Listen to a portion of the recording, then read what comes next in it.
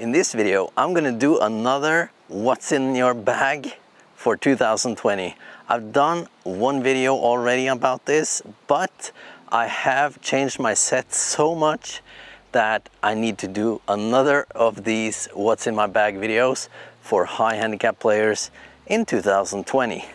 So this is my bag and let's start from the top this time with my Cleveland Launcher HB Turbo.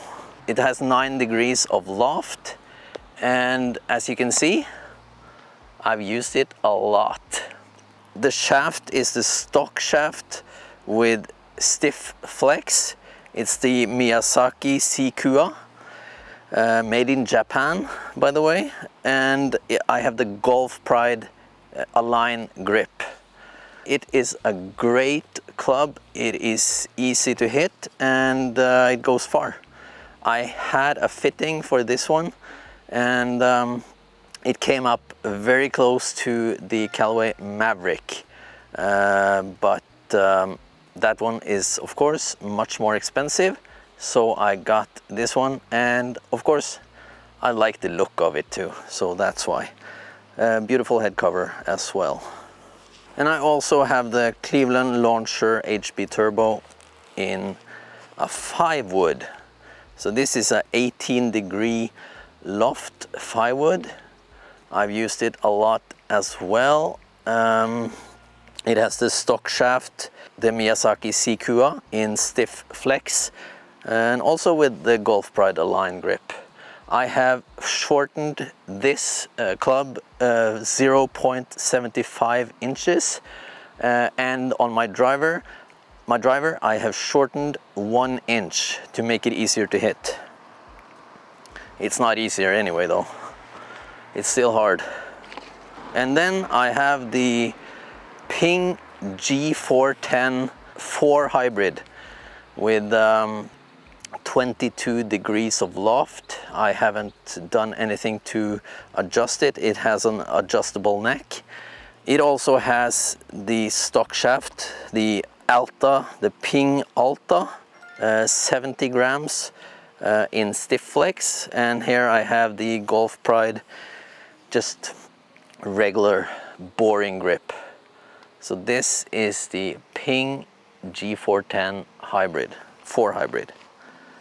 And now let's move to my irons, my set, iron set. Uh, I have recently just bought a new set, as many of you know, who have been watching my channel for a while.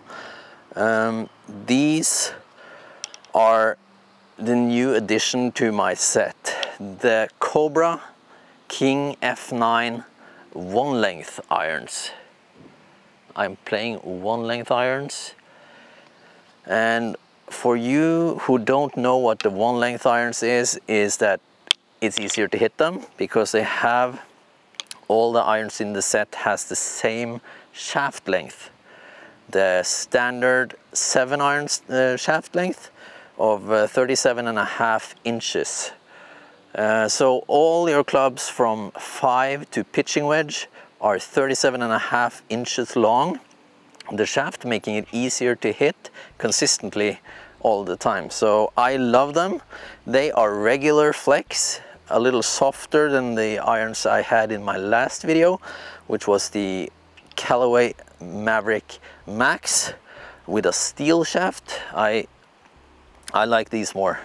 Uh, I have slowed down my swing lately so that's why I needed some irons that had a softer shaft flex. So uh, and these are graphite the Atmos from Fujikura one length. So I really really love this set. It's uh, worth looking at if you're a high handicapper like me. So that's nice. And from my old set, my old I'm saying, but it's really new because it was the set I had before my one length irons, the Mavrik, Callaway Mavrik Max irons with a Project X loading zone 95 gram shaft with 5.5 flex, which is just in between stiff and regular. And I have the Align grip on here as well. I love the Align grips. Uh, we don't know if you can see them, but uh, the, it's a thicker line underneath here, so you can have that in the, your fingers, and it's easier to hold your club more consistently. I uh, really like those.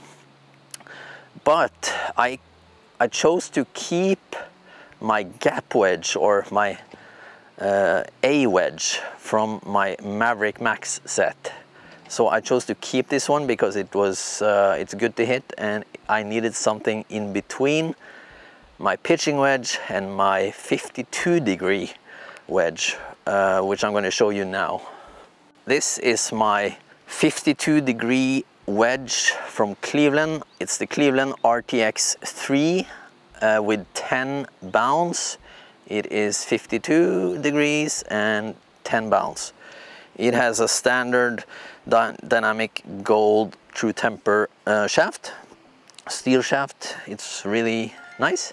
It's, uh, it's a club I have enjoyed and I bought it new this season as well. Even though the RTX 4 was out, I chose to get this one really cheap, um, the RTX 3. And then we have the Sure Out from Callaway, a 58 degree uh, sand wedge it's a nice club to hit and but sometimes I feel like it's too much bounce on it. You can see it's way big bounce on it, but yeah, I kind of like it. It has the KBS standard stock shaft and a boring Callaway grip, to be honest. And here I have the Cobra Big Trusty Rusty. Uh, it's an old 60 degree wedge. It has standard wedge flex uh, steel shaft, even though it's black. And of course it uh, is the rusty or trusty rusty, so it's rusting. Um, it's an old wedge and 60 degrees, in my opinion, is too much for a high handicap player. And it has the stock, uh, stock grip, which uh, should be replaced. I'm actually thinking about taking this club out of my bag, out of my set, because I hit it very badly and I hardly ever use it. I use it only when I'm in trouble and I can hit a rock or something because I don't care too much about this club, so I don't mind if I scratch it up or do anything bad to it. Uh, but as I said, 60 degrees in my opinion, and my sand wedge, which is 58 degrees, it's uh, too much loft. And now I have come to my new putter. This is a Titleist Scotty Cameron putter. Uh, they are really expensive. This is the 2018 Select square back with the weights. So you can replace the weights to get them get the putter to fit you more perfectly uh, if you like that. So this is a really nice putter and uh, of course it's one of the best I've ever had. It has the standard uh, grip from uh, Scotty Cameron, uh, the Scotty Cameron Studio Design grip. It also has a 34 inch uh, shaft to make it better fitted for me. That's my whole set. If you want to see more of my channel, which is for high handicap golfers, hit the subscribe button and hit the like button if you like this video.